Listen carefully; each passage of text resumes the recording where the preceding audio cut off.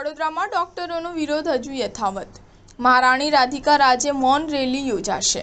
દિવસભર ધમધમતી ઓપીડીમાં પચાસ ટકા દર્દી ઘટ્યા છ દિવસમાં, માત્ર ચોપન સર્જરીઝ થઈ. વડોદરાની સયાજી હોસ્પિટલમાં છેલ્લા છ દિવસમાં રેસિડેન્ટ ડોક્ટરના અભાવે પ્રથમ દિવસે ઓગણપચાસ સર્જરી થઈ શકી ન હતી.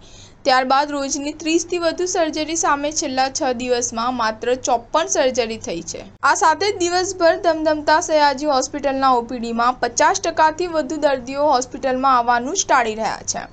શહેરની સયાજી હોસ્પિટલમાં રોજની બે હજારથી વધુની ઓપીડી સામે હાલ માત્ર ત્રણસોથી પાંચસો દર્દીઓ આવી રહ્યા છે. ત્યારે યુજી ઇન્ટર્ન અને રેસિડેન્ટ ડોક્ટરો સાથે સાથે દર્દીઓ પણ હવે હોસ્પિટલમાં આવવાનું જોખમ નથી લઈ રહ્યા. કારણ કે સયાજી હોસ્પિટલમાં શહેર જ નહીં, પરંતુ અન્ય રાજ્યોમાંથી પણ દર્દીઓ સારવાર માટે આવતા હોય છે. ત્યારે તેઓને પરત ન જવું પડે માટે હાલમાં તેઓ આવવાનું જ ટાળી રહ્યા છે. હોસ્પિટલમાં આરએમઓ ડૉક્ટર હિતેન્દ્ર ચૌહાણ સાથે વાતચીત કરતાં તેઓએ જણાવ્યું કે, હાલમાં ઓપીડી પર હડતાળની અસર વધુ જણાઈ રહી છે, જેમાં પચાસ ટકા જેટલા દર્દીઓ આવી રહ્યા છે, પરંતુ અમારી સેવાઓ ચાલુ જ છે. પ્રથમ દિવસે ઓગણપચાસ સર્જરી કેન્સલ કરવામાં આવી હતી. ત્યારબાદ ઇમરજન્સી સર્જરી હાલમાં ચાલુ છે.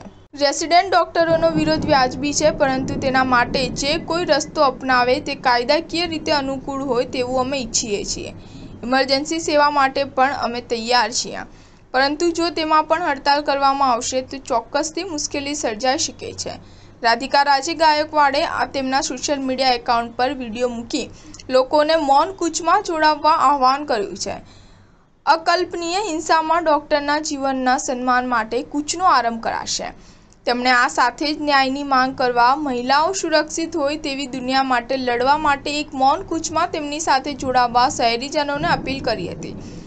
આજે કુચ એલવીપી બેન્ક્વેટ્સ ખાતે કાર પાર્કિંગ ગેટ નંબર બેથી રાત્રે નવ વાગે શરૂ થશે, જે એલવીપી ગેટ એકથી સયાજી હોસ્પિટલ સુધી પહોંચશે. કાળા રંગનો ડ્રેસ કોડ પણ રાખવામાં આવ્યો છે. સ્ટાર ન્યૂઝ સેવન હંમેશા સચ્ચાઈની સાથે.